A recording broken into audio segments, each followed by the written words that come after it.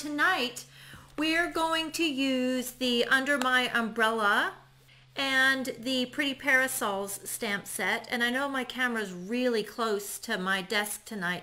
I was having a bit of trouble with my lighting. Um, and this is the only way I could get it to work. And then we have the umbrella punch.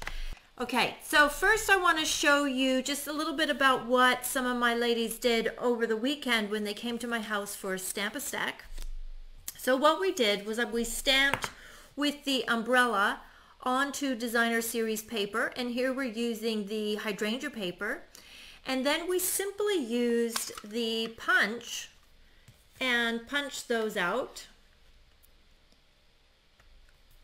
like that. And then we even stamped on the other side of our hydrangea papers and punched those out and got that kind of a look. So that's an easy way to do paper piecing because you've got a punch and you get the, the nice detail of the printed paper, but you still have that stamped outline.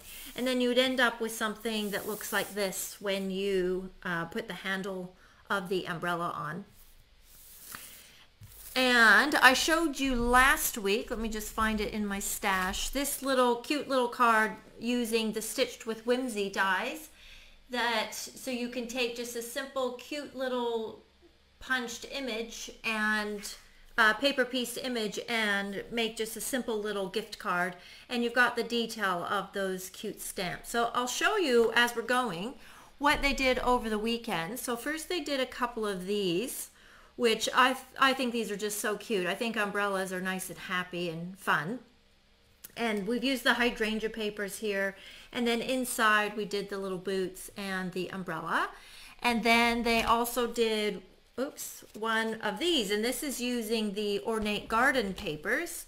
And I think this one is equally as cool. I, I probably wouldn't have picked these colors, but seeing it all together like this, I, I actually really like that. It's nice and happy. And again, you'll notice that the prints are very small prints. Okay, now, um, when one of the ladies was working, she made a comment um, that she was going to stamp the boots and make something for some framed art at her house. And I thought it was such an adorable idea because those little gum boots or rain boots as I would call them um, or galoshes I think as some people call them in this Under My Umbrella stamp set. I think they're adorable. So I've stamped them here on, um, I believe this is Daffodil Delight, the printed papers. And you'll see that it's a polka dot and it's just, so it's again just a small print. And I'm using my black Stampin' Blend marker and just coloring in the top and bottom just to give that a little bit of detail. And now there isn't a punch for the boots and often there, is, there aren't punches or dies for images, especially when you want to do the paper piecing or if you want to do like a portion of an image, uh, there wouldn't be a particular die or punch. So we're just going to use our scissors. We'll go back to the old-fashioned way and these are quite easy to cut out, these little um, gum boots. Now some people like to cut right on the line. I like to give it just a little bit of a, a border because then you've got a little more room for error. If you're right on the line, then you've got to be quite exact. So it's up to you. Now then, uh, before we did the video, I actually did a whole lot more of these. So you see that we've got a rainbow of gum boots, which that looks so happy and fantastic as is. But I've only got room on my card for six. So one of these is going to have to be the odd man out and not go on there. And for some reason, I cannot see comments. Um, like they're just not there. I've scrolled down a few times. So I would ask you which one you would want to take out, but I think I'm going to make a decision because we've got I'm gonna um, take that one out and we'll put this one on the inside of our card. Okay, so let's slide those up a little bit. Now then, I've created a card front here that is, I should have written it down, it is um, 7 and 5 eighths by 2 and 5 eighths. And hopefully you can see that. I've actually embossed on this and I've used that the folder that went with the Forever Greenery I, I, you can't really see that with the Forever Greenery suite. And um, this one is staying around. So I've just done it here up in the corner. I think you can see that. Just we'll just see what that looks like I'm always experimenting. All right. I think actually I'm going to stamp my words first just in case I need to start over. Now I'm going to choose the words from the coordinating set the pretty parasols because I like that it had these long words which is nice um, when you have a a long card. So I'm going to stamp wishing you warmth and sunshine. Okay, like that. And and then now I'm going to use my, actually I'm not, I'm going to grab my smoky slate blend and I'm just first going to create a little something for those boots to sit on. And this is one of those things that the more you think about it, the harder it is. Just kind of make, make some lines here. Just a little thing for them to sit on. And a lot of it's going to get covered, so don't worry too much about that. And if you want to, you can always go back in with your color lifter and kind of blend the edge. This color lifter is definitely a must if you use Stampin' Blends. Okay, so now I'm just going to check and make sure that I'm going to have enough room. I think just barely. I'm going to make this side just that little bit longer. I probably drive some people crazy. I'm not very exact with my measuring.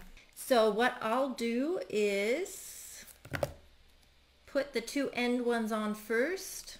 And actually this is what I got the ruler for. So it, it's really helpful to have a clear ruler in your stash just so that the boots are lined up because I could see that it would be quite easy to end up on a slant by the time you're done. Okay, and let's put then the purple ones down here. And then I'm just going to kind of eyeball where those will go so they'll be about even. So if you just choose colors that are all in the Brights family, then you will have a really great rainbow or choose ones that are all in the subtles family which I'll show you in just a moment. I did do a subtles version. Okay, happy with that. And, then let's go ahead and put that on our card base, which my card base is eight inches by six inches, which I then folded in half. Okay, and then my black would be seven and three quarter inches by two and three quarter inches. And then I gave you the white one. I actually really like that with the embossing folder. So like I was saying, this um, friend who was at my uh, house this weekend for the Stamp-A-Stack was saying she was going to make a long line of these gum boots and have them in her entryway in a frame, which I thought was really quite a nice idea, something to put in your house. Um, very cute and happy. It would also look really cute in a child's room, I would say. All right, then from there, I thought we would do some black and white twine, which this is from the Playful Pets suite, and I, I really like it. I find that I actually use this twine quite a bit. And let's just cut that off there and I didn't get my glue dots over here so we'll just use a bit of Tombow. Um, Tombow works fine for twine. You just need to give it a few minutes to actually dry whereas a glue dot is immediate. So either works. You just have to work with its properties. And then I thought we'll add some of these matte black dots. And now these black dots are really good. I found that before we had them, I was coloring a lot of my pearls in black and stuff. That's still not dry. So it's really great to have these. And I'll do large ones and then small ones. And um, I find you either have them on the boots or in between the boots, but not kind of both. Okay and then maybe I'll do one high and then one kind of low again. There we go. And I like that because then it kind of kind of visually connects them. And then we've got our twine and I'm going to set that aside And I'll show you the other one that I did. This one is in more subtle colors. And this one, I didn't use all the same prints. So this one I've got them all polka dots, which I think does look cute. But this one I didn't really have that option because we're kind of dealing with scraps at this point while things are discontinuing and we don't have a lot of the new stuff yet. So I just used various things from various packs and that actually looks cute too, I think. And then inside the card, I just had some umbrellas left over, so I just put an umbrella, um, put the little gray there to ground it, and stamp some more of the words. So on this one that we just did, I'll put in here, instead of an umbrella, because it's not the right color, I'll put the little um, gum boots and then stamp some words there too. So um, I'm just going to show you another sample, but basically before I do, I'm just going to uh, summarize that you need to have uh, papers with a small print or one where if it was a small piece you could tell what it was, it wasn't, it, um, and then you need to have stamps that are quite open in my opinion. So ones like this where you've got the outline but it's otherwise quite open. I'm just going to grab these or you could go to like these ones with the people. This is the beautiful moments one where you'd stamp the young girls and then you could paper piece the dress out of a piece of paper rather than using your blends or watercolors or coloring in, in, in any other way. You would just stamp it on a piece of paper and cut that out and fit it over top is just a really great way to use up your little bits and pieces because I know we all end up with tiny pieces and to do, for example, these gum boots, you only need like a one and a half by one and a half inch piece.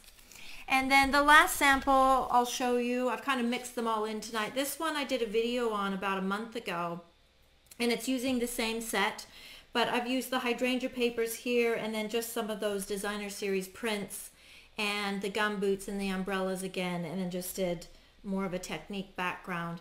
But it's just a nice way to make your umbrellas and your boots and your other images, like I mentioned, interesting without the coloring um, and using up your scraps of paper. All right, so if you have any questions or comments or have a sample of your own that you'd like to share, please leave them in the comments below.